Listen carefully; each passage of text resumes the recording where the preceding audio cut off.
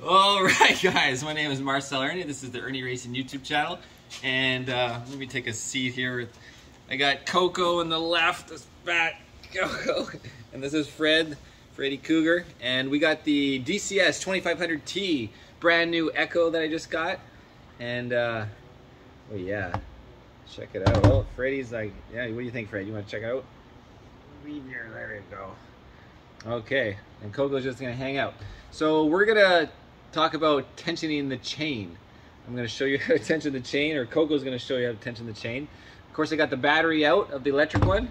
Battery's right here, so make sure, obviously a gas one's not running. The battery, you know, a little bit different. Um, all right, Coco, you just relax. So, first step first, I'm gonna pull the chain cover off. And, oh, don't wanna fall off, back yet, you're gonna hurt yourself. all right. Fred's gonna hang out. Let's continue, guys. Sorry about the delay. So right now the chain is tension. So I got the, the brake, obviously the brake is back and you can see it's nice and smooth, right? Nice and smooth. And if you pull down, you wanna give a really good zoom in here. You can see like it's just, if I pull hard, I can just get it out of the gears, right? Um, and you can see it tightens up too. It depends as you go along, you see, because it goes loose and tight. So keep it in the tight spot, you'll see just shows the, the, the sprocket gears or whatever you want to call it on the chain just slightly. Um, so this is perfectly tensioned, and which means it's smooth, it's not coming off, and um, I'm gonna show you how we do that. So step one, guys, is um, you're gonna loosen up the chain bar, and it, you know they come with a tool, or you just use the appropriate tool for that.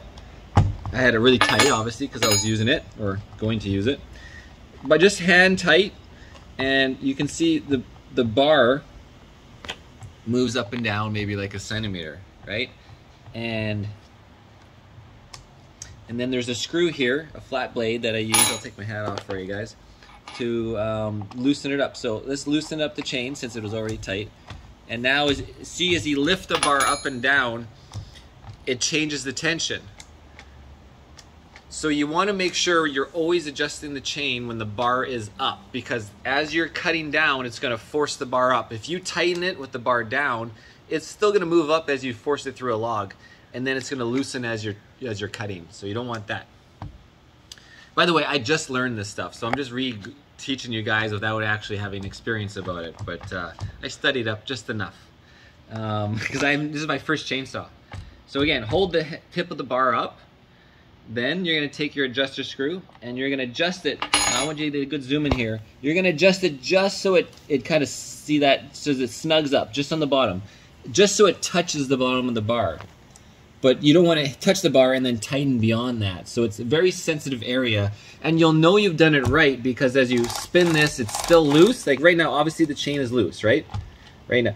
But it, it's you're not going to feel any more tension. So kind of get used to like what it feels like when there's no when there's no resistance. And then we're going to get it tight and hopefully it'll feel the same. So now you can take a zoom in. I'm tightening it up. Look, it's it's raising. It's raising. I'm almost there. And boom. Just touches the bottom. Now I'm going to tighten it. And I'm holding the bar tip up again, right? I'm tightening it okay, we can take a little look. Look, I can see the gears or whatever the, under the chain. You can still pull it down slightly, right? You know how people always like, look at that. That's how they used to adjust it. Some people on as I grew up and so. And now, okay, I feel resistance now. I really do. It's not like it used to be. So it feels a little tight for me. I feel too much resistance, like tight spots. Like it feels like, not just tight spots, but it's just tight overall. You feel resistance. Um, so that's a little too tight. So again, I have to back her off. Again, finger tight. Make sure you can wiggle it up and down. And then I'm gonna back this guy off. Okay, and let's do this again. You pretty much have to start from scratch every time because um, you gotta let the chain drop. Again, hold the bar up. There, it just touches the bottom. Tighten it up.